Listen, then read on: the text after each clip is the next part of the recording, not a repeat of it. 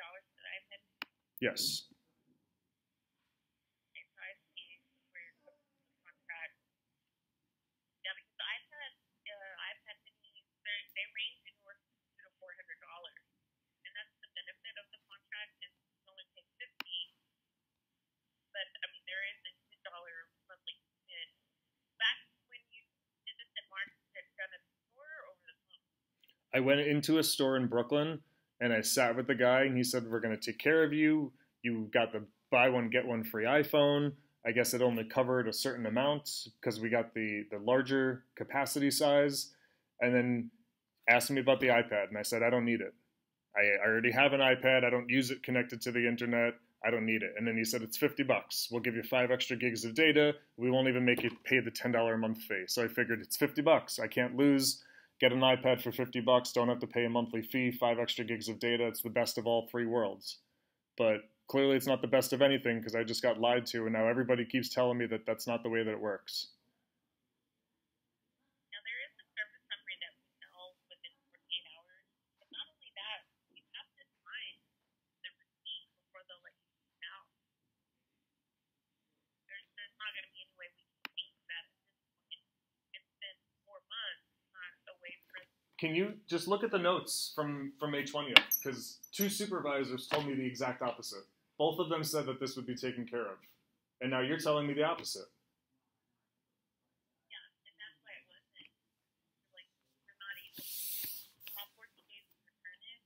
You shouldn't have left with the iPad if you didn't want it. I, I wanted it, miss. What I didn't want is to be lied to about what I would get in the long term. When somebody says that they're going to do something, I expect them to do that. I, I don't know AT&T's system that I'm going to sit there and I'm going to be able to, to understand the, the changes that are made onto this. Your contracts are mind-boggling. So, so you want me to have broken down that contract, understood it in 14 days before I got hit with the charges that I wasn't supposed to, and then after I had two supervisors fix it for me, two supervisors fixed it, authorized that on May 20th, and now two months after that, I'm being told that that even wasn't authorized. So what the hell was the point of me speaking to two supervisors on May 20th for them to do nothing?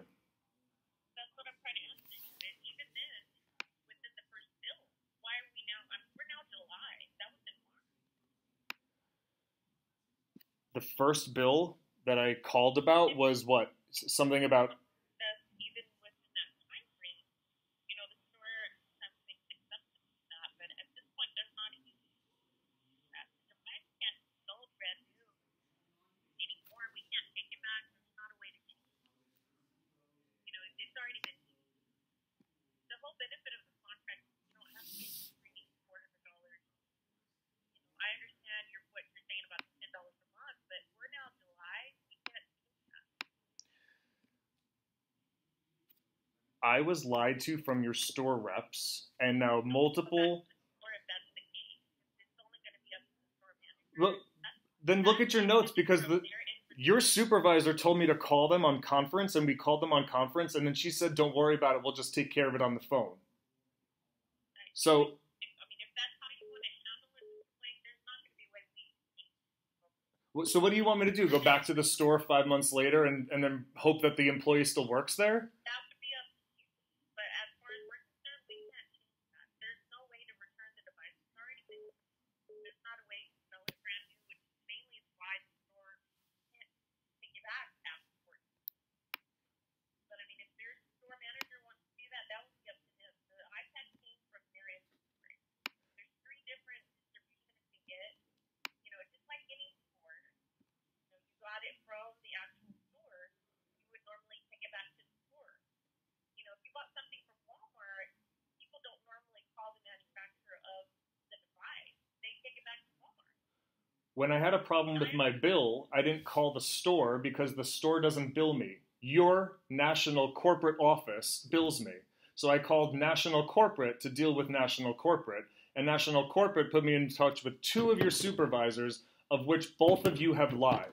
Both supervisors lied and said that they would do something and it was completed, and I would see it in one to two billing cycles, and that hasn't happened. So, to answer your question, why I haven't called earlier, because you give me one to two billing cycles to see that hit. So, since it hasn't hit in two billing cycles, that's why I waited, ma'am.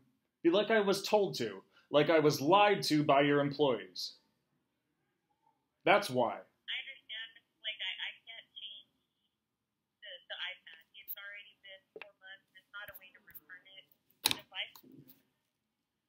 No one's asking to return it, ma'am. I, I didn't say anything about returning. What I said was that I was told that it wasn't going to be a charge, and then I was told that it was going to be credited, and I was told that it was taken care of. And all three of those things never happened. Yeah, and they're not gonna happen. There's not a way to do that.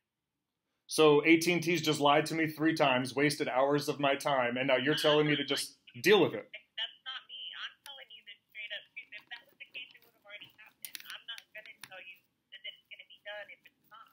I'm giving it to you straight. It's not going to be justice. Yeah, but two months ago when I spoke to the other representatives, they wasted my time.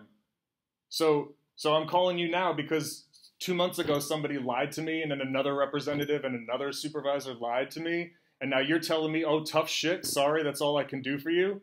Don't worry about all the other people that bullshitted you and lied to you all the time. I'm not gonna lie to you. Like I'm gonna tell you exactly. I didn't say that you are or that you did. What I said was that previous Well, people have. saying that. I'm saying here's your option. You can either cancel it, pay the contract fee, or dispute it at So you guys just strong armed me and lied me into this. You guys lied for me to get it, and then you're lying about the credit, and now you're saying you can either pay the cancellation or you can keep paying for it moving forward. But nothing that I said, nothing that AT&T said was ever going to happen is actually going to happen. So it's all smoke and mirrors with you guys.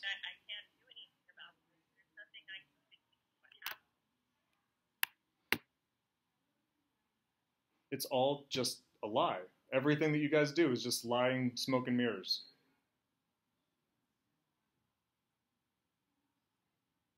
I've been with you guys for 15 years.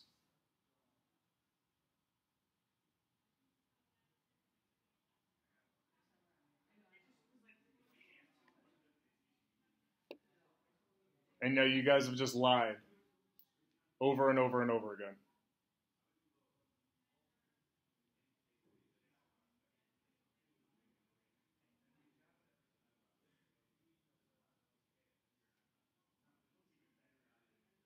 Are you there? Yes, sir. I'm here. I, I'm not understanding what you're asking this point. I already answered. So so you're just not going to do anything about it. Hope that I hang up and I'm okay with it. But that's fine. Anything I can do. Well, there there was a supervisor that was willing to do it before. There was her supervisor that was so appreciative of my understanding of the situation. Would have already been done. Then put your supervisor on the phone, ma'am. I'll talk to that person. not going to happen today. It'll be a four-day callback. A four day callback. Yes, sir. It won't change anything either. It, it's still going to be the same. What's your name? Angelica Angelica what? Mendoza. Angelica Mendoza. Okay. And what was the supervisor's name from the last conversation that I had? I can only give you my information. But your representatives told me that their names are record are in the records. Yeah, there will be noted on your account, but I can't give you that information. I can only give you mine. Okay. And then you guys record all of your calls, right? They're random. It's not necessary. Okay, so how do I request that this call get recorded or that the May 20th call gets pulled? have that option. You guys don't have any way of pulling a May 20th call? That's not any access you have. I didn't ask myself, I said you. Your AT&T management doesn't have any way of pulling its own employees' calls. There for training purposes, that's not anything we can. So how does somebody pull the call for training purposes then? That's not our department. Okay, then And all of that is proprietary information. Like I can't explain these further. I guess it's proprietary too on how you guys just lie to people and then hook, line, and sinker, smoke and mirrors, force people to either pay the cancellation or just suck it up and deal with it. At this point, I, I've explained there's not anything we can do about the iPad. Do you have any other questions? No, I've recorded this conversation and I will bring it on social media. Authorized to record it. I actually authorized it with your previous representative.